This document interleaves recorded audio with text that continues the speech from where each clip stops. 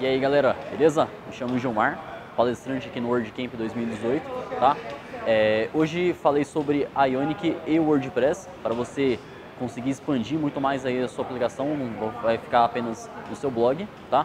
Se você gostou do tema, se interessa, vai estar disponível depois a palestra na íntegra na página do WordCamp São Paulo, não só a minha, como também as outras. Acesse lá depois. Valeu!